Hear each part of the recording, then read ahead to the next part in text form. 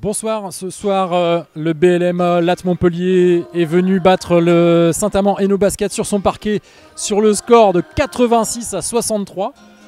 Et donc euh, j'ai recueilli les premières impressions euh, du coach du BLMA, Thibaut Petit. Ce soir donc votre équipe très dominatrice en première mi-temps.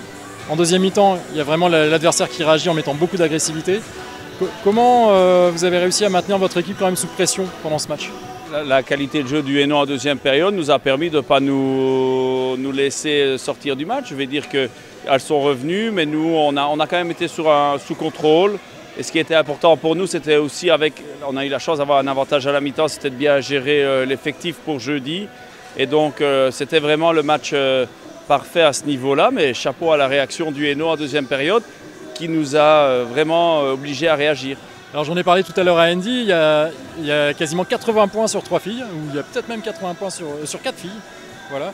Est-ce que c'est euh, quelque chose qui, se prévoit à l'avance ou pas forcément? C'est vraiment le, scénario du match qui dicte un petit peu euh, la marque Oui, oui, je pense qu'on a une équipe justement où tout le monde peut marquer 20 points. Euh, c'est notre force. Et aujourd'hui, on avait décidé de, protéger Taylor aussi, qui venait de jouer beaucoup. Elle a joué que 12 minutes. C'est une fille qui, était à 15-20 points sur la dernière rencontre. Voilà, on a géré aussi l'effectif. On voulait remettre Andy dans le rythme aussi qui revient d'une longue blessure. Elle a fait un match remarquable aujourd'hui. Donc euh, voilà, on est content parce que c'est chaque fois des filles différentes.